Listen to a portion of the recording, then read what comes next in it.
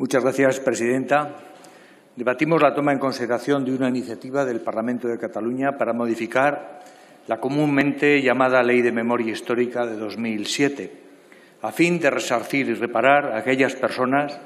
con ideología no afecta a los sublevados en 1936 y a quienes se les incautó su dinero con ocasión del canje de papel moneda emitido por la Segunda República por el emitido por los sublevados y a la postre vencedores. Se trata, pues, de una iniciativa para reparar y hacer justicia a las personas de un colectivo de las muchas víctimas de la dictadura a quienes se les confiscaron sus bienes, junto a otras a las que sufrieron exilio, cárcel y represión. Y con esta iniciativa también, indirectamente, se trata de homologar en esta cuestión a esta democracia con la de otros países que han tenido que reconocer situaciones traumáticas del pasado parecidas. Señorías, la descripción de aquellas incautaciones no deja de ser una manifestación más de lo que se ha venido a llamar la burocratización del mal,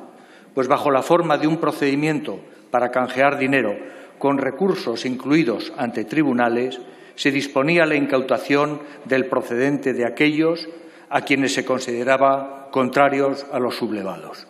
Y así, en un primer momento temporal, y a medida que en terminología franquista se iban liberando plazas del dominio marxista, se disponía la tramitación del canje de dinero con una solicitud ante el Banco de España contra recibo de este y que debía ser acompañado de una declaración jurada sobre su procedencia avalada por tres personas de reconocida solvencia económica y moral, que no se nos oculta y ha sido puesto de manifiesto que había de tratarse de adictos al régimen, pues se valoraba dicha solvencia con su propia vara de medir. Y si tal petición de canje era desestimada por el Banco de España, cabía ciertamente un recurso ante un mal llamado tribunal, pues resolvía en conciencia y estaba compuesto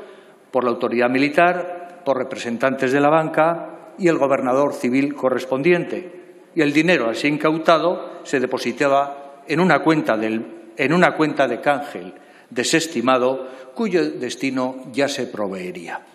Por eso calificábamos a este procedimiento de canje de burocratización del mal,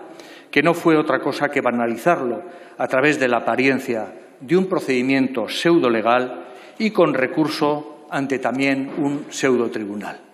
Y por su parte, y una vez finalizado el tiempo dispuesto para el canje del dinero,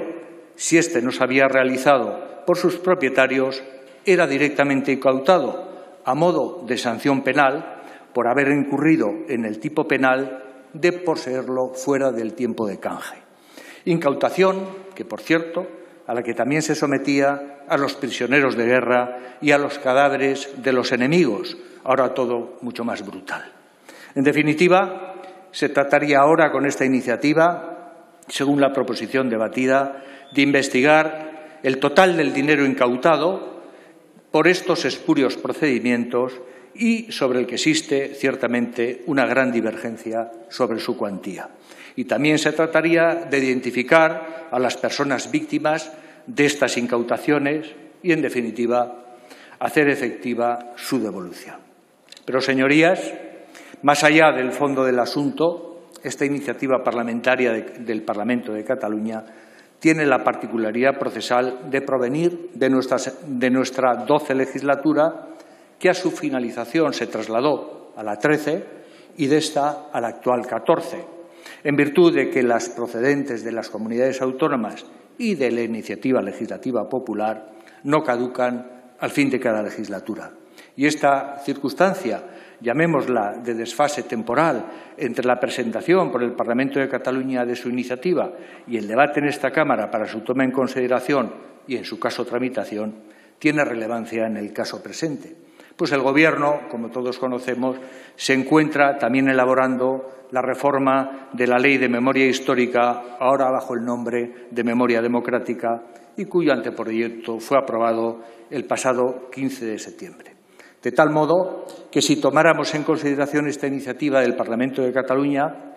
esta Cámara se encontraría tramitando simultáneamente una proposición y un proyecto sobre el mismo objeto, la ley de reforma histórica, lo que reclamaría, sin duda, de acuerdo sobre el procedimiento particular a seguir para una tramitación conjunta, ciertamente infrecuente, pero no totalmente desconocida por esta Cámara. Y también señalar como particularidad